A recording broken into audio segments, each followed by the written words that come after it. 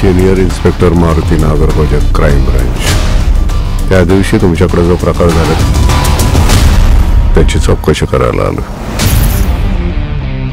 Good morning madam good morning साहेब तुम्ही आपलं सांगा. सगळं पहिल्यापासून. पहिल्यापासून? म्हणजे? लोणावळ्याला जायचं ठरवलं तेव्हापासून. बरीच माहिती काढली तुम्ही. सरकार त्याचाच पगार देत आहे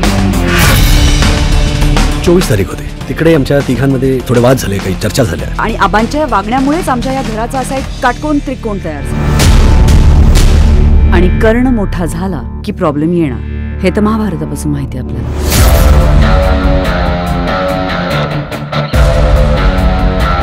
तुम्हाला असं तर म्हणायचं नाहीये ना की त्याला आम्ही जबाबदार आहोत?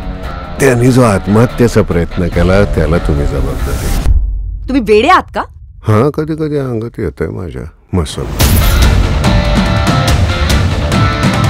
घरातला म्हातारा माणूस जगण्यात काही अर्थ नाही या टोकाला गेला असताना त्याचं चुकतं कुठं हे शोधत बसायचं लाज नाही वाटली तुम्हाला? आमचं घर म्हणजे तुम्हाला डिटेक्टिव्ह पुस्तकाचं कथानक वाटतंय का? प्रत्येक घरावर एक डिटेक्टिव्ह पुस्तक लिहिता येते तुमचं पुस्तक प्रकाशित झालं. एवढंच. तुम्हाला घटना ठाऊक आहे का? माहिती आहे की ते अभ्यासालाच आहे. त्यात असं नमूद केलंय की शंभर गुन्हेगार सुटले तरी चालतील पण एकाही निरपराध माणसाला शिक्षा होता कामा नये. एका निरपराध माणसासाठी शंभर गुन्हेगारांना सोडायचं हेच मुळात मला पटत नाही.